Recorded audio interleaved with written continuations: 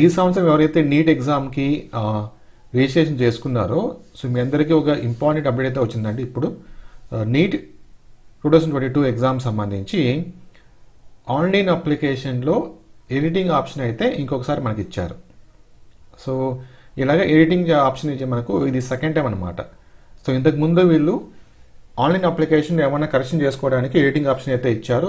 ఇది ఇది second time కాకపోతే ఇప్పుడు మనము అన్ని ఎడిటింగ్ చేసుకోలేము.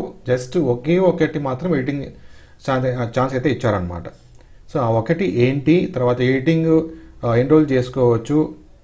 ఓకే? సో ఇలాగ డీటెయిల్స్ నేను ఎక్స్ప్లెయిన్ చేస్తాను. మీరు వీడియోని ఫస్ట్ నుంచి పూర్తిగా చూడండి. అలాగే ఈ ఛానల్ ఎవరైనా సరే ఫస్ట్ టైం చూస్తుంటే తప్పకుండా సబ్స్క్రైబ్ చేసుకొని సపోర్ట్ చేయండి. చూడండి ఇక్కడ. పబ్లిక్ నోటీస్ అని చెప్పేసి ఫోర్టీన్త్ జూన్ ఈరోజు రీచ్ చేశారు దీన్ని. Correction of category in the online application form. So me online application ఫామ్లో కేటగిరీ కరెక్షన్ అయితే చేసుకోవచ్చు. కేటగిరీ అంటే క్యాస్ట్ అనమాట ఇంతకుముందు మీరు ఏమన్నా తప్పుగా ఏమన్నా ఎంటర్ చేస్తుంటే క్యాస్ట్కి సంబంధించి ఇప్పుడు మీరు దాన్ని కరెక్ట్గా చేసుకోవచ్చు. మోడిఫికేషన్ చేసుకోవచ్చు. ఓకే చూడండి ఇక్కడ. డ్యూరేషన్ ఫార్ కరెక్షన్ ఎప్పటి నుంచి ఫోర్టీన్త్ జూన్ నుంచి ఈ మంత్ సిక్స్టీన్ సిక్స్టీన్త్ వరకు చేసుకోవచ్చు. అప్ టు నైన్ పిఎం వరకు.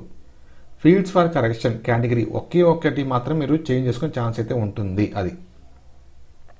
దాని తర్వాత సో ఇంతకుముందు క్యాస్ట్ ఏమన్నా మిస్టేక్గా ఎంటర్ చేసినా సరే లేకపోతే మీ మీ దగ్గర క్యాస్ట్ సర్టిఫికేట్ లేకుండా మీరు ఎంటర్ చేయకపోయినా ఇప్పుడు మీరు చేసుకోవచ్చు.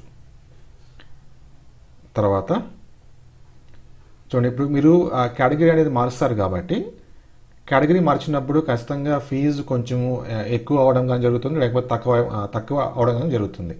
సో ఆ- ఫీజు అనేది మీరు కట్టాలి. ఏమైనా ఎక్స్ట్రా ఫీజు ఉంటే కనుక మీరు కట్టాలన్నమాట. సపోజ్ మీరు ఇంతకుముందు ఓసీ అని పెట్టినారు సో ఓసీ ఫీజు మీరు కట్టారనమాట ఇప్పుడు మీరు ఎస్సీ అని పెడితే కానీ ఫీజు తగ్గుతుంది. ఓకే? సో అది. Please note that the final correction shall be taken into account only after payment of additional fee ఏమైనా అడిషనల్గా మీరు కట్టాలనుకుంటే అప్పుడు కట్టిన తర్వాతే మీ కేటగిరీ అనేది చేంజ్ చేస్తారు. తర్వాత మనకి ఇంకో ఇక్కడ ఒక ఫామ్ అయితే ఇచ్చారు. Self declaration by the self declaration by the candidate in lieu of category certificate అంటే ఇప్పుడు కూడా అట్ ప్రెసెంట్ ఇప్పుడు కూడా మీ దగ్గర కేటగిరీ సర్టిఫికేట్ లేకపోతే సపోజ్ మీరు ఎస్సీ అనుకోండి. మీరు ఎస్సీ మీరు ఎస్సీ క్యాండిడేట్ అయితే కనుక ఎస్సీ సర్టిఫికేట్ మీ దగ్గర ఇప్పుడు కూడా లేకపోతే మీరు ఏం చేయొచ్చు? ఈ ఫామ్ అనేది మీరు ఫిలప్ చేసుకోవచ్చు. నేమ్ ఆఫ్ ద క్యాండిడేట్ మీ పా మీ ఫోటో ఇక్కడ. మీ నీట్ అప్లికేషన్ నెంబర్ ఇక్కడ మొబైల్ నెంబర్ ఈమెయిల్ ఐడి తర్వాత లాస్ట్లో మీ ఫాదర్ కానీ మదర్ కానీ సిగ్నేచర్ మీ పేరు మీ సిగ్నేచర్ అయితే డేట్ ఓకే ఈ ఫామ్ అనేది క్యాస్ట్ సర్టిఫికేట్ మాదిరిగా పనిచేస్తుంది.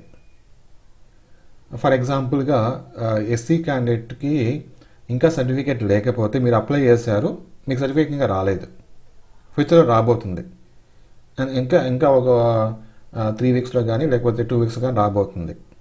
సో అలాంటప్పుడు మీరు ఏం చేస్తారంటే ఈ సర్టిఫికేట్ మీరు ఫిలప్ చేసుకొని కేటగిరీ సర్టిఫికేట్ దగ్గర ఇది అప్లోడ్ చేయొచ్చు అనమాట ఫైనల్గా అడ్మిషన్ అంటే మీ కౌన్సిలింగ్ జరిగేటప్పుడు మాత్రం ఖచ్చితంగా మీ దగ్గర ఒరిజినల్ సర్టిఫికేట్ అయితే ప్రొడ్యూస్ చేయాలి. మీరు ఎస్సీ అని చెప్పేసి ఆ సర్టిఫికేట్ అయితే ప్రొడ్యూస్ చేయాలి.